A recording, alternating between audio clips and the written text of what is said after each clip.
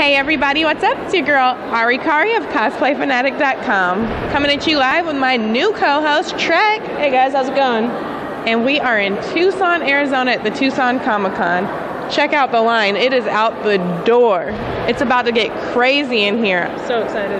Woo! She's ready. Oh, yeah. We're ready. Are you Let's you ready? Let's do this. Let's go.